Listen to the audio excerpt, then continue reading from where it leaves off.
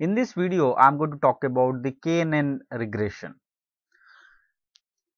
So, what is KNN regression? The KNN stands for the K uh, nearest neighbors uh, and this is a special type of regression uh, which uh, takes uh, K nearest um, you know training data points and finds out the prediction. Um, so, it is known as the K nearest neighbors regression. So, let us try to understand what is KNN regression uh, with the help of an example. So, uh, there are two variables age and weight. So, our uh, objective is to predict um, age of an individual uh, by taking help of his weight. Okay. So, age is a function of weight. So, that's is that's the regression that we want to do. So, if you want to do a linear regression on that, so how how, how is that going to be? Uh, well, age will be in the y axis um, and then um, weight is going to be in the x axis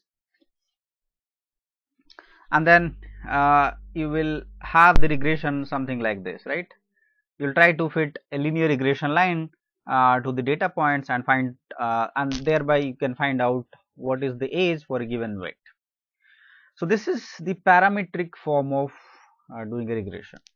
KNN regression on the other hand is non-parametric that means there is no regression function in this case. In like in the case of linear regression you have a straight line uh, which which you know predicts um, age by taking uh, weight it is not going to be the same in KNN. So, how is it going to be? It is a lot easier and and uh, it is very simple approach.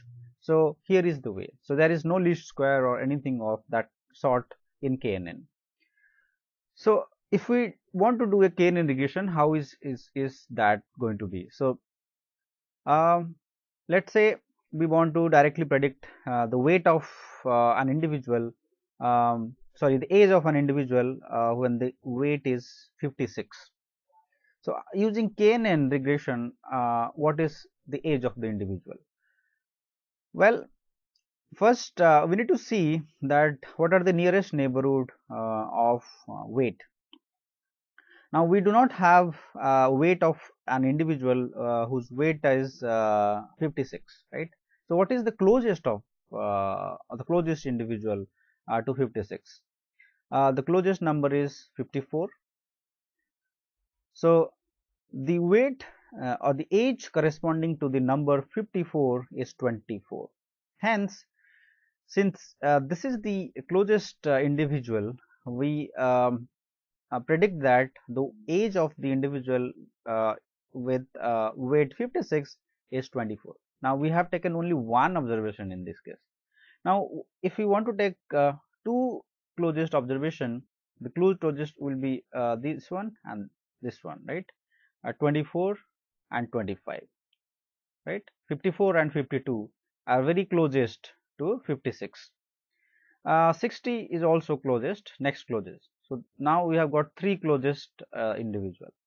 So how do we predict uh, their uh, the corresponding age with respect to the weight 56 so, we simply uh, take the average of uh, all three edges 24, 25 and 30.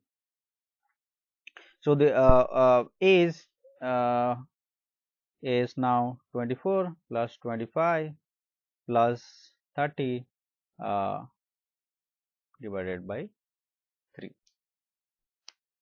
So, that is um, you know 79 by 3 so which is uh, nothing but 26.3 okay so the age of the individual with weight 56 is nothing but 26.3 from the KNN regression now k in this case so k in this case is 3 so first we tried it 1 now it's 3 so uh, now the question is what is the optimal number of k or optimal number of nearest uh, neighborhoods uh, nearest observation that one should consider? Well there is uh, uh you know there is nothing uh, optimal as such um, uh, it depends on the problem at hand and it could vary from 1 to 9 1 to 15 something like that. So, it depends on so many things. So, let us put it in theory, let us generalize it. So, uh, theoretically KNN regression can be uh, presented like this. Uh, we want to predict um, at a prediction point x 0 like in this in in our example the prediction point was 56 right? The weight was 56 we wanted to predict the age of an individual with uh, weight 56 and then we'll take k uh, training observation closest to x0 like in the case we took three observation closest observation to the weight 56 52 uh, you know uh, and then 54 and 60 in our in our previous example and then we take the average of average of the uh, training observations okay? So theoretically the y hat at x0 is nothing but the uh, average of uh, you know yi uh, which which is uh, you know the k nearest yi uh, to the given um, observation okay? And what is the optimal value of k? It depends as i have already said um, so one should ensure that the k should be chosen in such a way that the error rate uh, or the error is minimum. Um, if you have a training and testing data set, training and test data set, so you, one should take the k uh, or the k ne um, uh, nearest neighbor um, such that the test error is minimum. Okay. So uh, that's about KNN uh, regression. So, how is it related to linear regression?